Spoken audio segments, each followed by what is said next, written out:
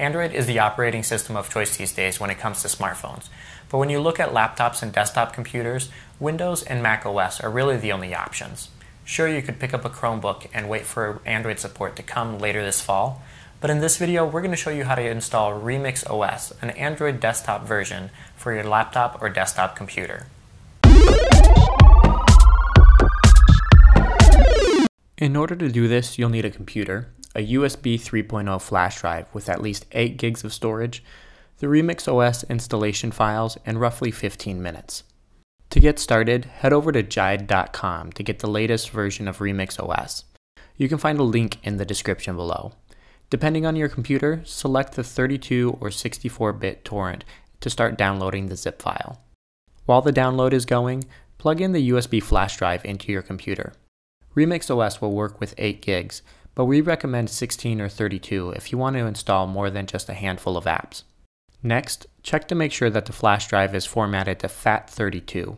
If not, use the Windows Format utility to reformat it. Once the download is finished, extract the zip file to your location of choice on your computer, and then open the Remix OS for PC installation tool. When the window opens, change the type to USB drive and then select the flash drive you inserted.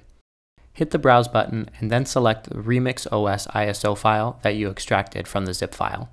Then press OK. You'll see a warning message that the installation process will completely reformat the flash drive. Press OK again, and the Remix OS will begin the installation process on the USB flash drive.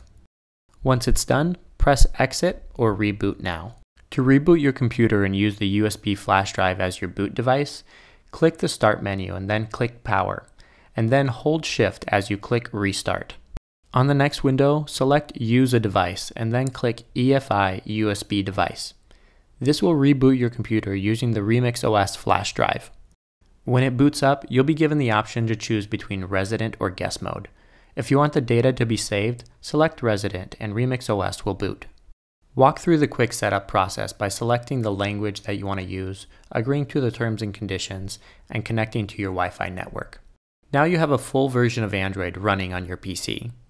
Remix OS only has a handful of Android applications pre-installed, but you can download more through Remix Central or sideload any applications you want. We'll be covering Remix OS in a lot more detail in a few upcoming videos. If you've managed to get it installed on your computer, we'd love to hear your experience. Hit the thumbs up button, leave us a comment, and don't forget to subscribe.